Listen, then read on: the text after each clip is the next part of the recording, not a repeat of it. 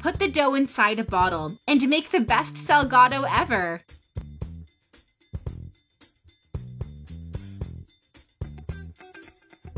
In a pot, add four peeled, big-sized potatoes. Cover with water. Leave it to cook for 15 minutes, then remove from the stove, drain the water, put the potatoes in a bowl, and mash them.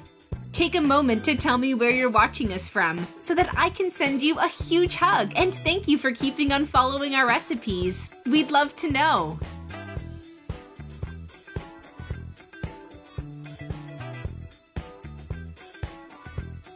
Combine the potatoes with half a cup of green corn, half a chopped bell pepper, 4 tablespoons of cornstarch, 1 egg, 1 pinch of salt, 1 tablespoon of olive oil and mix.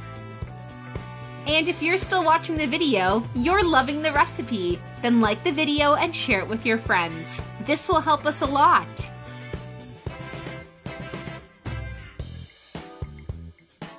This is the right texture. Now put the potato mash in a plastic bottle using a funnel.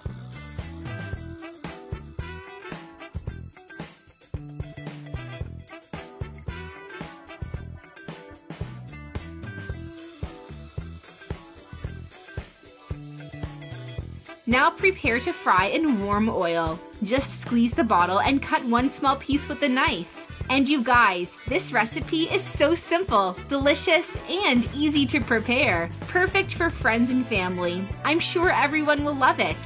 Let's continue by filling the pan with potato balls, and when they turn golden, take them out and place them on kitchen paper to remove the excess oil.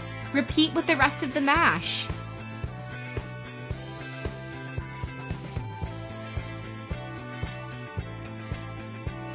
And our recipe is done, ready to be enjoyed. I really hope you liked our recipe. Thank you for watching the video. See you in the next one.